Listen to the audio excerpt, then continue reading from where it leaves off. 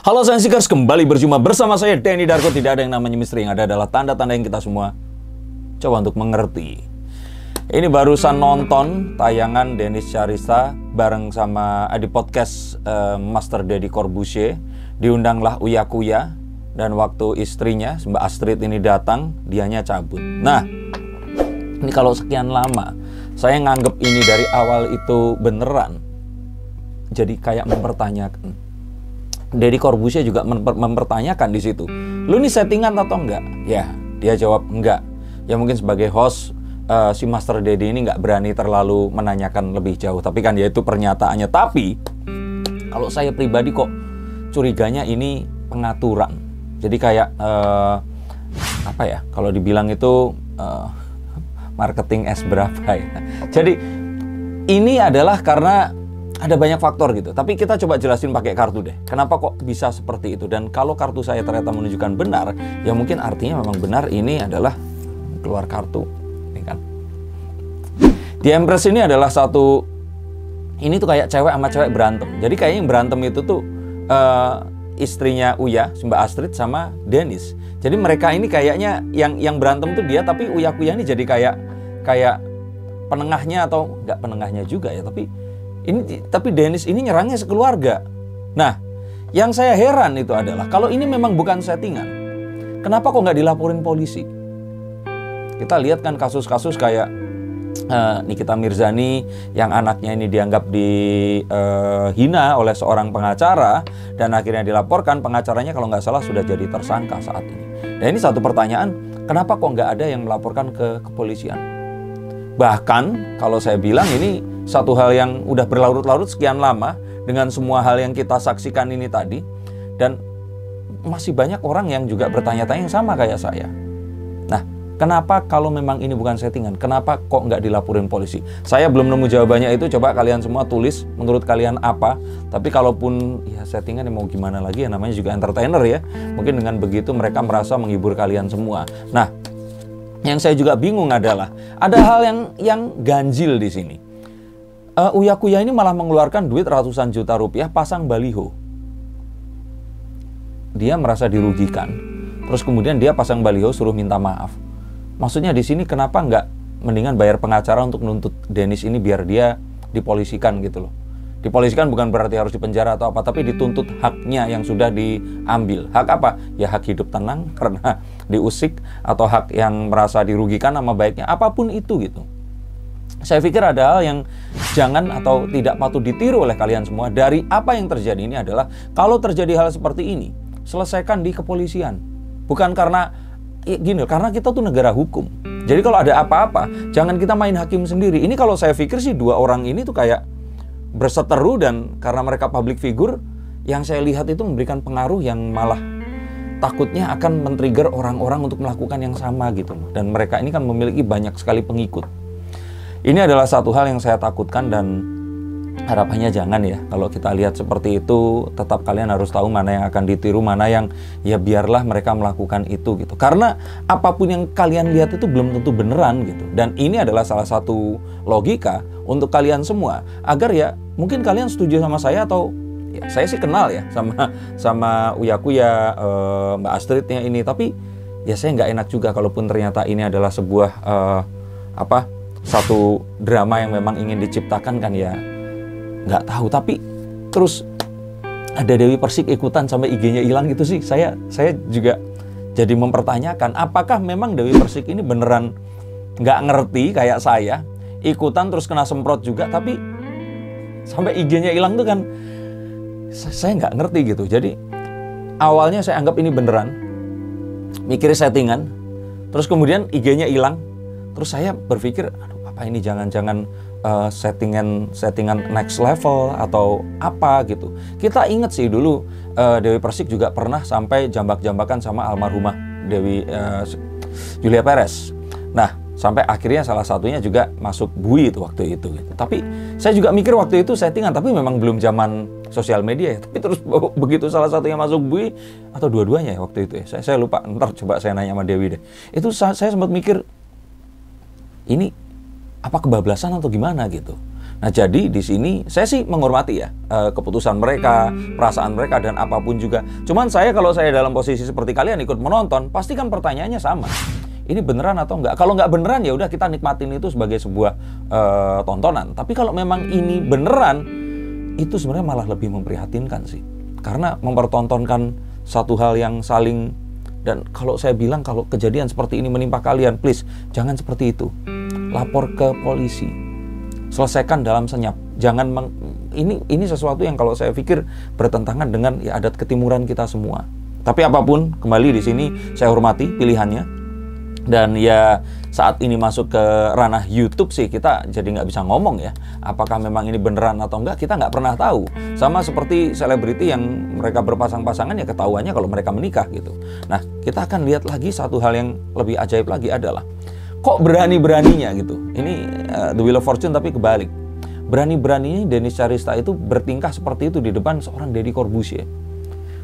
Deddy Corbuzier itu saya kenal pribadi dan saya pikir seluruh Indonesia juga mengenal juga seperti apa uh, sikapnya dia. Kalau melihat sesuatu yang nggak benar, dia akan kejar orang itu, akan benar-benar uh, temukan sampai ya kalau perlu diadili, dia akan adili itu. Cuman ya ini terjadi di depannya dia dan dia seperti ya menganggap itu benar jadi ya kalau saya sih berpikir uh, kayaknya benar deh.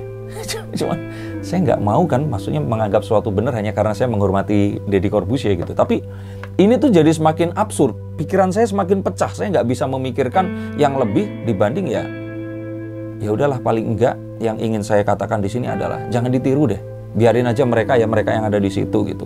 Tonton aja sama kayak kalau kita nonton Tom and Jerry gitu kejar-kejaran terus salah satunya dipukul palu dipasangin uh, apa namanya petasan atau dijepit pakai jepitan tikus atau apa. Kalian kan nggak melakukan kan? Ya udah kita lihat Uya Kuya dan uh, apa namanya Dennis Sarista ini kayak Tom and Jerry aja. Ya sudah kita saksikan mereka seperti itu. Tapi please jangan ditiru. Kalau kalian punya permasalahan ada orang nyindir terus kalian balas nyindir nggak begitu memang saya lihat Uya ini mencoba untuk menemui. Kalau ini benar ya, dan Dennis ini berusaha menghindar. Tapi kan ya, kalau seandainya dia mengajak pengacara atau polisi kan, ya pasti akan atau dipanggil gitu, atau disomasi kan bisa saja gitu. Tapi kenapa kok nggak ke sana? Dan nggak tahu apakah ada yang udah nanya atau belum sih. Jadi kalau saya pikir di sini ini apakah karena saya nggak diajak untuk uh, settingan jadi saya juga ikut bingung di sini tapi ya balik lagi di sini saya merasa kalau ini ada Deddy Corbuzier, terus Deddy itu seperti itu, masa iya dia diajak settingan juga? Saya pikir sih enggak ya, tapi lebih menghormati mereka berdua ini dan memberikan ya sudah uh, tempat untuk ya udah ngobrol aja di situ seperti itu. Ini kelihatan banget kalau ya ya itu tadi ada yang dijaga gitu. Walaupun mereka ini melakukan sesuatu tapi satu sama lain ini kayak nggak nggak ada yang kelepasan gitu loh sampai akhirnya marah Terus kalau cewek sama cewek itu kan akhirnya jambak-jambakan, marah, dorong-dorongan atau apa. Ini kayak sesuatu yang yang direncanakan. Ini perasaan saya loh ya. Tapi kalaupun enggak, ya saya sarankan itu deh. Uh, Uya, uh, Mbak Astrid, Dennis, ya udah lapor polisi gitu loh. Maksudnya di, diselesaikan dengan hukum gitu kalau memang ini terjadi. Tapi kalau enggak ya kalian mikirin nggak sih kalau kalian ditiru sama orang lain gitu. Ini sesuatu yang kalau saya pikir ya ini kelihatan ini yang yang tanda ini adalah mereka saling menahan diri. Mereka ini kayak tahu ngomongnya itu batasnya di mana. Jadi kalau menuju ke panas terus omongannya itu sudah sampai di titik tertentu, mulai kayak nanti takutnya bisa diaduin atau apa. Mereka tuh tahu titik kapan berhenti. Kan sama kalau kayak kita nonton Smackdown. Smackdown ini kan wah banting-bantingan tapi nggak ada yang mati gitu. Ada nggak yang ya? Maksudnya tuh mereka kayak tahu mana yang harus dipukul, pas jatuh itu harus seperti apa. Kalaupun niban paku payung itu paku payungnya itu akan nggak mungkin kena mata gitu. Jadi ya itulah the level of absurdity-nya ini udah udah saya nggak tahu harus seperti apa nih. Dan ya apa pun itu ingat bahwa tayangan yang diberikan oleh para kreator ini memberikan satu dampak kepada penontonnya dan nggak semua penonton ini karena kita nggak memiliki disclaimer atau nggak ada KPI lah ya di sini itu akhirnya ya anak kecil juga bisa menonton ini kalau ternyata kelepasan mem membuka YouTube yang nggak ada parental guidance-nya. Dan kalau ini terjadi, ini akan mengerikan sekali sih. Ngerinya nggak sekarang. Anak kecil lihat mereka ini saling seperti itu, terus mereka nanti akan uh, di sekolah mereka akan jadi lebih berani sama orang yang lebih tua. Ini Dennis ini anak muda yang ke orang yang lebih tua gitu. Even saya pun addressing istrinya Uya Kuya itu Mbak Astrid gitu. Tapi kalau Uya Kuya kan nggak mungkin saya panggil Kang atau Bang Uya Kuya gitu. Karena kan itu kayak nama legend gitu. Tapi ini loh, ini anak muda yang seperti itu tuh kalau saya pikir nggak nggak pada tempatnya gitu. Kalaupun ya he pick a fight gitu with someone older than her, ya nggak begitu caranya gitu loh kalau menurut saya. Ya sudahlah, ini Dennis silahkan dengan apa pun yang kamu lakukan, tapi untuk kalian semua, please jangan seperti itu. Mau sesalah apa pun orang yang lebih tua, kalian sebenar apa pun, nggak pada tempatnya kalian mengucapkan seperti itu, apalagi ditonton di depan publik oleh orang-orang yang lain. Coba yang setuju, tulis di sini. Yang nggak setuju, yang ah, bodoh amat kalau dia, walaupun dia tua, kalau salah ya gua hajar aja. Komen nggak apa-apa di bawah sini, saya pengen dengar. Tapi ini kan sesuatu yang kalau saya pikir memberikan pengaruh gitu ke anak-anak kecil, anak-anak muda yang nanti akan tumbuh dengan satu tabiat yang akan ditiru dari apa yang ditonton dan apa pun tadi. Kalau menurut saya sih, please hentikan, stop, dan pikirkan baik-baik. Maksudnya pikirkan baik-baik seperti ini. Dennis otomatis namanya ini di atas angin, trending, lebih terkenal dibandingkan dua bulan yang lalu, lebih terkenal dibandingkan satu tahun yang lalu. Jadi kalau menurut saya, please stop.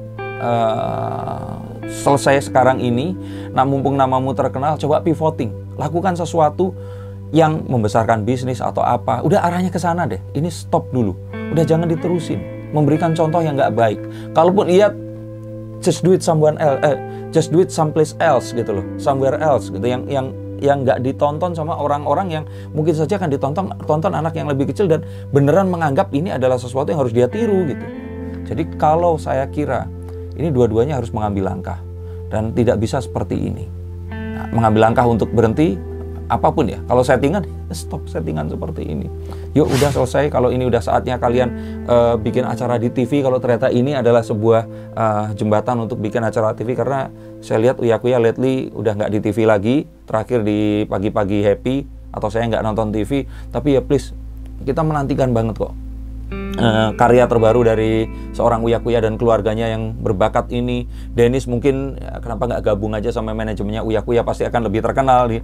Kalau saya pikir sih coba ya inilah work other scenario coba untuk udah cukup di sini jalanin aja saya pikir kamu akan terkenal kok dan akan lebih baik lagi dan kalau kita lihat lagi di sini sebelum semuanya ini malah kebablasan sesuatu yang tadinya ini pura-pura malah akan jadi sesuatu yang uh, lebih nggak jelas lagi lebih absurd lagi. Dan nanti malah kalau saya pikir ya masuknya ini jadi apa ya akhirnya jadi sesuatu yang kalau nggak ribut gini dosisnya itu pasti ingin ditambah terus. Semua ini pasti akan lebih dibuat lebih lebih gila lagi. Udah pasang di baliho dipertemukan di dalam podcast. Saya nggak tahu nanti apa apakah ada ajang uh, duel uh, eh, MMA gitu. saya saya nggak ngerti nanti ini akan menuju ke mana. Tapi kalau menurut saya sih di sini uh, ini harus selesai karena kalau nggak bulan depan ini akan orang itu sudah ya udah sudah uh, saya nggak bilang muak, saya nggak bilang apa ya. Tapi kayak kalau kita makan udah kekenyangan tuh nanti udah udah udah udah pengennya berhenti dan takutnya malah akan hilang, dilupain. Jadi mumpung sekarang ini pivot ke sesuatu yang lebih baik, ini saran dari saya akan lebih baik dalam bisnis atau apa pun itu. Dan jangan tergoda oleh AdSense karena saya tahu ini sesuatu yang kalau dikasih dan dosisnya lebih lagi, masyarakat ini pasti akan tetap mau nonton. Tetapi kalau ini diteruskan, nanti akan masuk ke level yang kita nggak akan pernah tahu, membawa ke titik yang kita juga nggak akan pernah sadar, dan ya akhirnya gini deh, coba gimana kalau endingnya kayak uh, Dennis uh, dihipnotis sama Uya Kuya menceritakan kenapa dia melakukan seperti itu atau uh, akhirnya mereka berbaikan uh, atau akhirnya mereka bikin lagu sama-sama. Ayo udah yuk. Saya pikir udah ini uh, berantemnya cukup. Nah setelah ini bikin bareng orang pasti akan nonton kok. Ya please yang baik-baik. Kalian ini mempunyai karya bikin karya yang baik dan kalau menurut saya yuk sekarang gitu loh.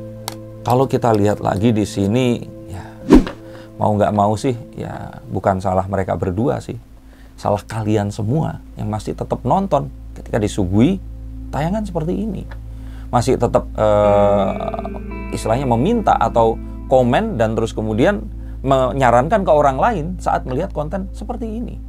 Jadi jangan salahkan konten kreator karena konten kreator ini juga memberikan apa yang diinginkan oleh kalian Nah, seperti saya juga memberikan ini, saya sih ingin mengedukasi, tetapi ya saya pasti akan juga melihat ini akan ditonton atau enggak gitu loh. Karena saya percuma juga mengedukasi sesuatu kalau nggak didengerin sama orang. Makanya saya selalu bikin sesuatu yang saya masuk edukasinya itu selalu di tempat-tempat di mana orang ini berkumpul. Tapi at least saya memberikan satu tujuan yang agar kalian semua ini ngerti gitu loh. Nggak semudah untuk nonton, mengikuti, kalian buang paket data, memberikan AdSense ke sesuatu dan mengendorse sesuatu yang ya, ya kalau kalau masih kayak sampai dua minggu yang lalu masih seru lah ya. Tapi kalau sampai ke sini terus saya nggak mikir takutnya nanti kejadian sesuatu yang nggak diinginkan gitu. Ini aja sih. Jadi kalau menurut saya sih please uh, selesai jangan uh, di endorse lagi kecuali ya kalau mereka ternyata berkarya. Dennis kan pernah bikin video klip Uya pembuat lagu Mbak Astrid ini juga uh, bisa istilahnya mengarrange musik dan sebagainya. Anak-anaknya juga punya musik sendiri. Cobalah bareng, pasti akan bisa. Dan kalau saya pikir apa karena mereka tahu kalau mereka bareng pun kalian semua nggak akan nonton kecuali ribut-ribut. Nah, ya kan kalian semua yang salah sebenarnya. Dan tapi apa pun itu, ingat loh ya. Ini kalian yang akan rugi. Mereka sih tambah kaya. AdSense-nya tambah banyak, namanya semakin naik. Orang akan semakin kenal uh, Dennis juga jualan bunga, bunganya akan semakin terkenal, diomongin oleh semua orang. Orang balihonya terpampang nyata, ya kan? Dan uh, Uya juga semakin berpundi-pundi AdSense ya. Ya apalagi mampir ke tempatnya Master Dedi ya semakin besar lagi gitu. Jadi kalau saya bilang di sini, mereka ini jangan dikhawatirkan mereka lah, mereka ini baik-baik saja. Khawatirkan diri kalian yang kalian sudah komen, komentarin Dennis yang istilahnya udah julid-julid setengah mati udah bener-bener keluar semua kebun binatang, terus dilihat sama bos kalian, dilihat sama anak kalian, sama cucu kalian, sama orang-orang yang nanti akan harusnya akan coba kebayang nggak kalau citra kalian ini adalah ibu PKK, eh, pengayom, Bu RT, tiba-tiba ngomongnya seperti itu di sosial media. Masa iya mau ngeles kalau itu dibajak sama anak, padahal anaknya cowok semua. kalau menurut saya sih, please hentikan ini semua, dimulai dari kalian semua, jangan di endorse. Maksudnya jangan di endorse adalah kalaupun mau nonton, berikan satu masukan yang positif. Berikan satu ajakan dan kalau mereka bikin karya, nontonlah. Jangan cuma pas ribut-ribut gini, kalian ngantri dan berbondong-bondong nonton jadi trending. Ini yang ingin saya sampaikan dan apa pun ini pesan dari saya di konten ini adalah jika terjadi hal seperti ini, maka jangan contoh sesuatu yang buruk dengan melakukan ini di tempat umum yang benar ya datang ngajak polisi karena kita negara hukum dan jangan main hakim sendiri apalagi penghakiman massal nanti terjadi kalau saya pikir yuk kita pilih pilah mana yang baik untuk kita tiru dan yang tidak baik jadikan tontonan saja dan terima kasih sudah menonton tayangan ini kembali di sini uh, ini kata kartu saya tapi kalau kata kartu saya tentang kalian semua seperti apa, silahkan hubungi nomor di bawah. Saya akan bacakan dan jangan tunda lagi. Tapi kalau kalian ingin menyaksikan satu uh, coverage yang berbeda dari sebuah kasus dan saya akan bongkar di balik itu tadi kira-kira ada apa, hanya di sini silahkan subscribe, like dan nyalakan tombol loncengnya agar selalu dapat menyaksikan tayangan seperti ini dan mendukung channel saya untuk berkembang lebih baik lagi. Terima kasih, sampai jumpa dan salam.